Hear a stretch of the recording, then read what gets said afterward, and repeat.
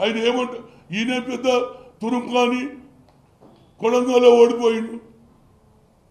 ఏది? మల్కాజ్గిరి ఇచ్చిండ్రు. మల్కాజ్గిరిలో జనరల్ సీట్లో కూడా సర్వే సత్తారాయణ గెలిచిండు. ఆ తర్వాత రిజల్ట్ ఏమొచ్చిందిరా బాబు? Mass leader. మరి నలభై ఎనిమిది ఎన్ని గెలిపించారు ఒక మీడియా రాసిందా?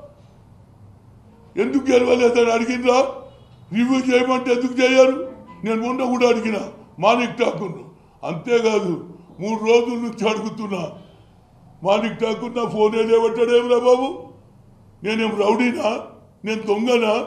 నేను మాజీ పిసిసి ప్రెసిడెంట్ నైన్టీన్ ఎయిటీ నైన్లో eighty seven to eighty nine Indira విజయరథం మీద తిరిగి పార్టీ తెచ్చిన మా రాజీవ్ గాంధీ రథం ఇప్పించిండు. దాంతో తిరిగిన.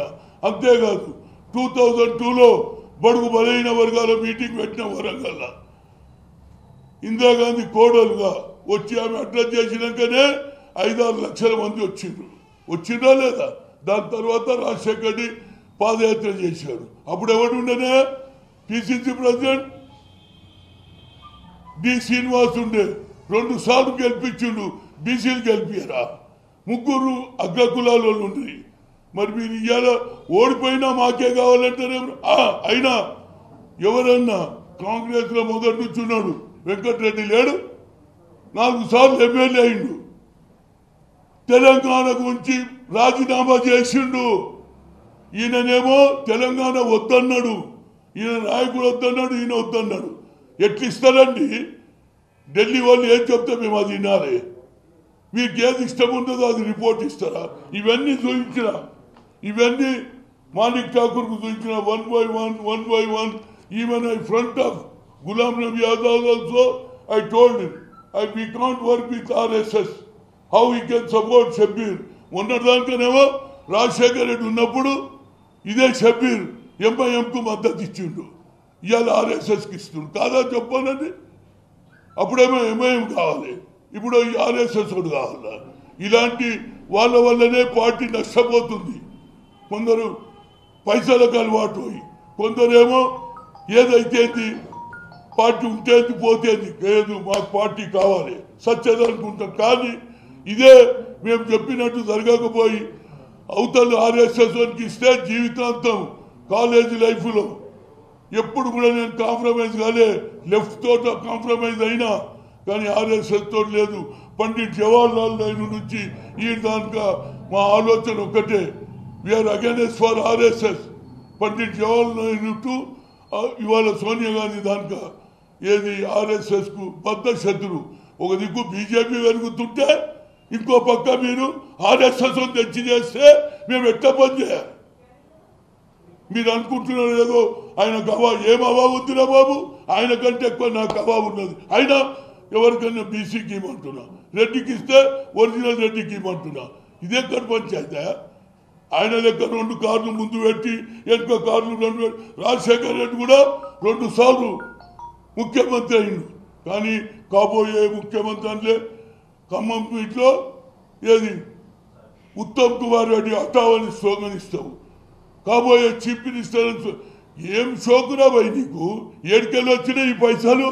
ఇవన్నీ తీస్తా. నేను ఇడువా? నేనే లెటర్ రాస్తా. సిబిఐకు రాస్తా. హౌ ఈ కెన్ గెట్ మనీ? ఒకనాడు సుధాకర్ రెడ్డి దగ్గర విజిటింగ్ కార్డులకు వచ్చేది. ప్రింట్ చేయమని.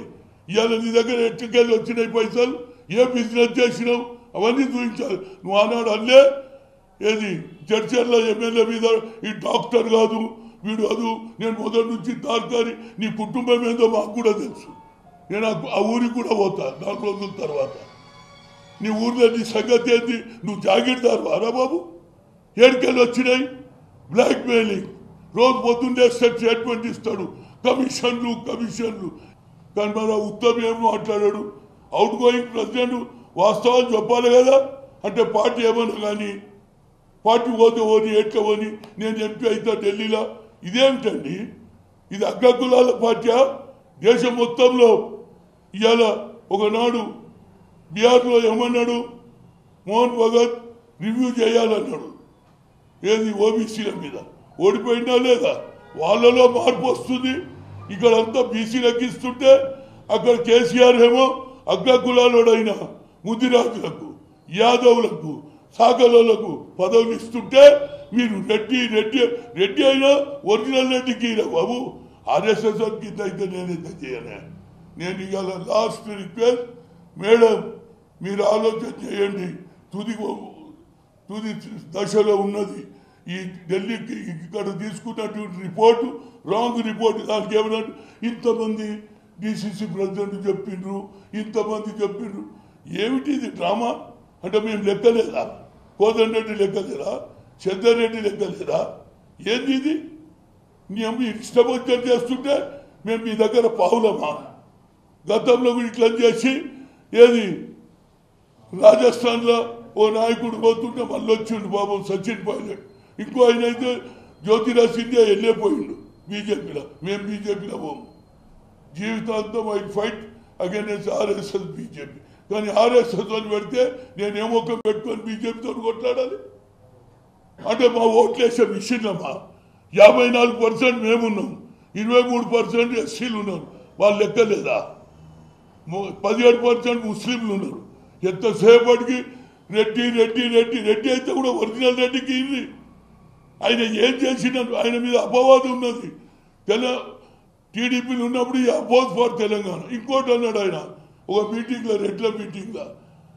రెడ్డి ఉంటేనే ఊరు. మమ్మల్ని ఉట్టించిన అవరాడు రెడ్డి ఉంటేనే ఊరట. ఇంకో ఆమె ఏంటది ఎవరు ఆమె? టీకే అన్న. రెడ్డి కులంలో పుట్టిందే మాకు సంతోషం ఉంటుంది ఏం మాటలు మీ? అంటే మమ్మల్ని మమ్మల్ని బేకార్గాళ్ళు అనుకుంటున్నా మేమేమి బిచ్చగాళ్ళు అనుకుంటున్నా యాభై నాలుగు పర్సెంట్ ఉన్నటువంటిది ఇరవై మూడు పర్సెంట్ ఉన్నట్టు ఎస్సీ ఎస్టీలను కన్సిడర్ ఎందుకు చేయరు?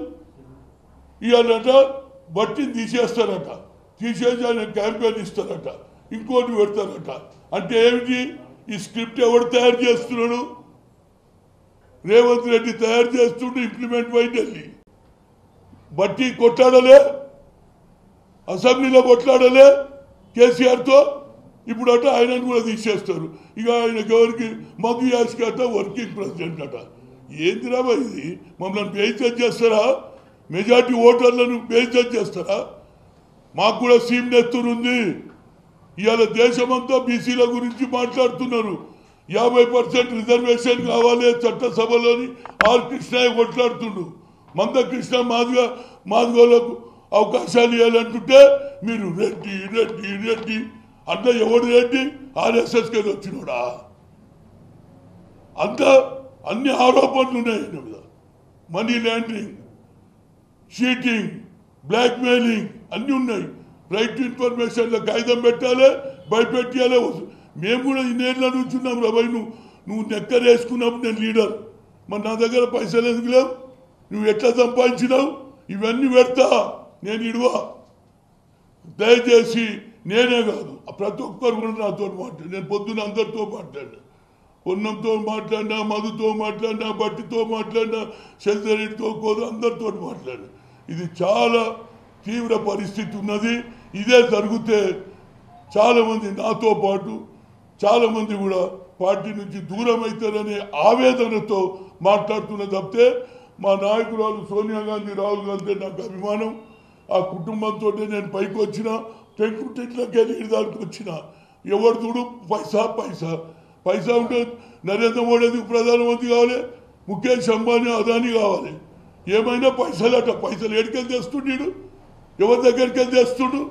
వీడు కోటీశ్వరా ఏమంటున్నారు అది ఎన్ని రోజులు కాదు నేను? మాటకి మా ప్రెసలు అటు ఇటు పోయి అది అసలు పేరు చెప్పు. చెప్తా పేరు ఎందుకు చెప్ప? బరాబర్ చెప్తా.